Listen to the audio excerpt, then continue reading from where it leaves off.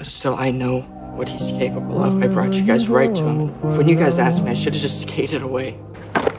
You just gotta keep up. I would have still followed you. Hey, um, wait up.